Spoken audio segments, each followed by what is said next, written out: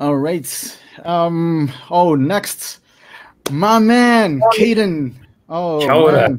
Kia ora, kia ora. Um, Kaeden, Tuakana, uh, COP25, Te Ara Whatu, um, one of the best crews I've ever had the, the pleasure of working with, both inside COP and outside of COP. Um, you- you're one of the two Tuakanas at, for COP25. Uh, um, yeah, man. So like when when it came, when it came to like coming up with the roster, like um, Te Ara Whatu had to be in there. We have at least three Te Ara Whatu um, uh, folks folks in there. So um, yeah, it- it's it's not not spamming the whole Pacific with Te Ara Whatu, but um, I just I do want to people to um, yeah put Te Ara Whatu on their radars because it's it's it's a force to be reckoned with. Great movement uh, of Rangatahi, and uh, obviously you, you'll talk about it. Um, Kaeden, um, when it comes to um, yeah um, where indigenous knowledge is right now, um, how did you synthesize that question? What, what, what were your first thoughts about it? Yeah, yeah, that's a good question, a really good question. And when you sent me that yesterday, I spent a bit of time thinking where Mātauranga Māori or Māori knowledge is going at the moment, and particularly um, where it's going in the hands of our of our youth, our rangatahi, because in my in my opinion, it's it's never gone anywhere. It's you know it's always been there. We've always had kaupapa Māori, Māori ways of doing things. Um, at the forefront of our heads whenever we approach problems, whenever we're dealing with our own people and and sustainability and just just ways of being.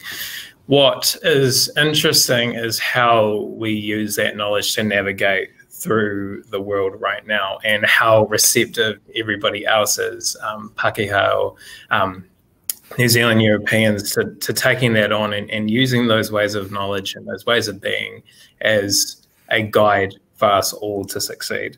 So, what I'm seeing at the moment, because I'm, I'm working in the health space um, at the moment, particularly Māori health, and what I'm seeing at the moment is more and more uh, Pākehā and and just just people from all over New Zealand embracing that Māori way of being and and our approaches to health, our approaches to sustainability, um, to community, really taking those on board and um, applying those to everything. So I'm very confident in the direction that Indigenous knowledge is going, at least here in Aotearoa. But even, you know, the, the stage that we've shared, Ghazali, um, at the UN climate talks and our Indigenous people's ability to uplift our ways of being and really put that out there, I'm really confident in the way that it's moving at the moment. Mm. And and when when you come to um just, just touching a little bit on the the Pakeha side of things, um, so that um um is is it is it is it well enough? Is it good enough? It, it's obviously there's there's more that they can do. Um, uh, that that development um, has it been with struggles? Um, what what are you seeing in, on that on that end? Yeah, so it's definitely been a struggle. that's, that's Obviously. sure. but um, yeah, it's I guess the struggle comes with um, convincing Pākehā that you know it's been said already in, in some of the talks that you've, you've had earlier prior to me, but what's good for Indigenous peoples is, is good for everybody. And our approaches to health and sustainability and culture, it's not um, just specific for Māori, it's by Māori, but what we use to um, build ourselves up is to build everybody up. You know, what's good for the most vulnerable groups is going to benefit everyone. So that is slowly being applied into you know different areas of the way we do things in Aotearoa. Not fast enough, nowhere near fast enough, and not soon enough by any means. But we are moving in a direction. I, I work at the Ministry for Māori Development, um, and we're trying to push those things out at the moment and and um, land those in different organisations so we can see those filtering down at different levels, and particularly for whānau um, in their communities. So it's a struggle, but hey, getting there.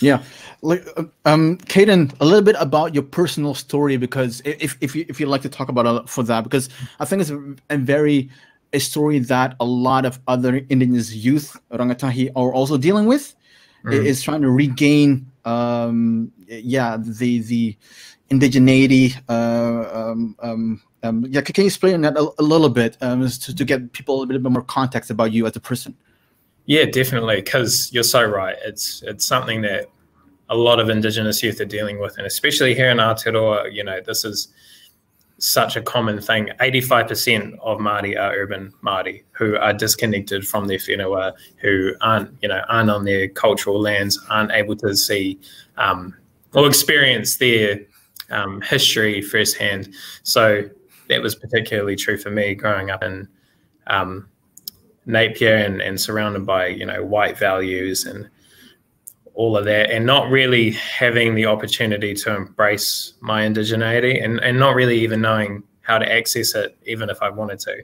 It wasn't until um, I started to get into my later years of high school that I realized, hey, there's there's something to this, and there's a key piece of the of the puzzle, which is me, that is missing. Um, get into my uni years and, and start to rediscover that, and then, you know, as soon as you dive into it and you meet people who are enriched in their um, history, their whakapapa already, mm-hmm. um, those floodgates just open and there's there's no looking back. And it's a terrific experience and, and feeling, and you're always learning and always regaining. Um, and then with that comes the drive to okay, how are we going to do this for other people? How how are we going to let our other rangatahi access this as well? Um, yeah, to make this a more accessible thing. So yeah, it's you know the the journey is still ongoing. You're always reclaiming and and and learning your history. Yeah, obviously. Um, in terms of uh, so we we talked about where it is right now in terms of indigenous knowledge. Where do you see it going, or comma, uh, where do you like to see it going? Um, um, um, yeah, from a youth perspective or in general. Uh, what what are your thoughts on that? I mean the the ultimate goal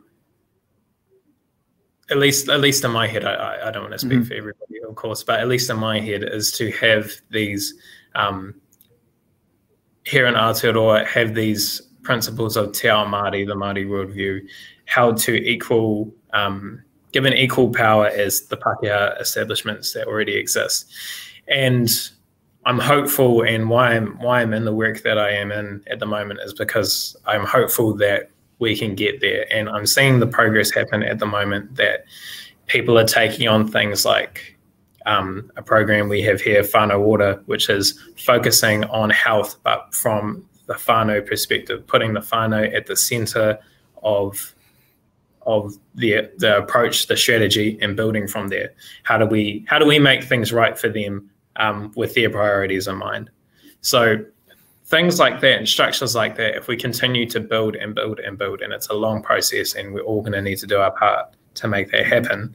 If we all keep building to that, we're eventually, I hope, going to reach a point where, okay, we can start to unravel some of the health damages that were done to our people throughout all of these hundreds of years. So that that's that's my aspiration, at least. Mm. Yeah. Um, um, uh, we don't. We're running a little bit out of time, Kaeden. Um, final thoughts and or yeah a plug for Te Ara Whatu. Um, last final two minutes is they're all yours. Yeah. Any final oh. thoughts or? First thing, happy birthday, bro. Ah, um, thank you, thank you. yeah, awesome. And and to the speakers before me and the speakers ahead of me. I'm sure a lot of men kōrero is going to be shared today. Um, but yeah, Te Whatu is um, back doing a lot of mahi at the moment. Um, there is a strategizing hui going ahead soon. So um, you will see a lot of movements from Te Whatu in the future, in the very near future.